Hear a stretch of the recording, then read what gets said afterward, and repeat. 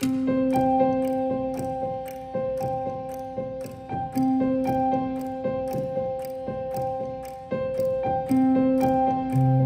was a time, not long ago, when life was simple.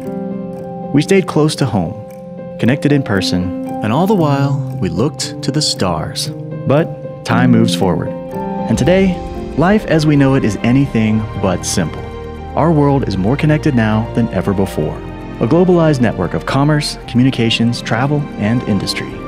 Technology has transformed the way we do business, the way we go to school, the way we shop, the way we socialize, even the way we sleep.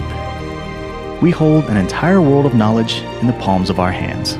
Today, the average smartphone has more processing power than all of the computers NASA used to send astronauts to the moon.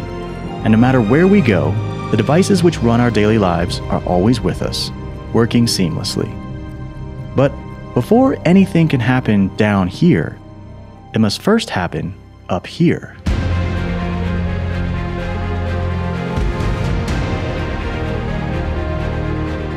Space is the conduit that connects every system in our global network. Satellite technology powers virtually every aspect of our digital lives. Every time you take a drive, order dinner, or visit the ATM, our global positioning system is hard at work connecting the dots, keeping the planes on point and the trains on time. You can track your package, you can track your progress, you can even track your best friend. Space helps us make new connections, and it keeps us connected to the ones we love. But that's not all, because our assets in space impact almost every aspect of our daily lives, helping to power the economy from your own personal accounts to the global markets. The financial world runs on space technology, from humble startups to titans of industry. When commerce is on the move, space makes it happen. 90% of all transportation on planet Earth takes place across our oceans, and 100% of all maritime navigation depends on global positioning technology. This means that every import, every export, every provider, and every customer relies on space to get their products to the right place at the right time. Space also works as a global asset for science, providing researchers the tools they need to protect and conserve our natural world. And when disaster strikes, we are always prepared to track danger, predict peril, and face challenges, no matter what form they may take. From those who protect and serve to those who save lives. We ensure that our most valuable treasures will always remain safe. The work we do is faster, smarter, safer, and more efficient. We rely on this technology to keep the lights on and the engines running.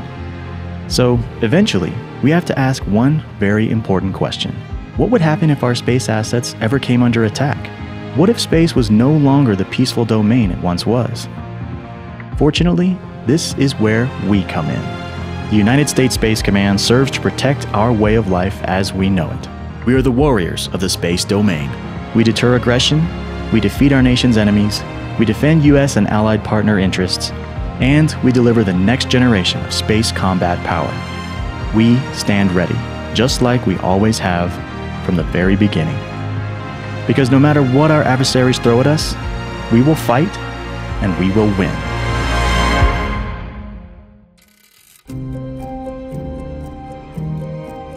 So, the next time you take a trip, relive a tradition, get a checkup, call a friend, or visit home, be sure to look up and always remember there is never a day without space.